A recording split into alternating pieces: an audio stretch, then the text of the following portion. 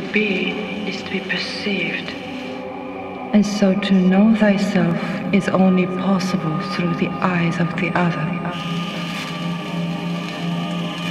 The nature of our immortal lives is in the consequences of our words and deeds that go on apportioning themselves throughout all time, time, time.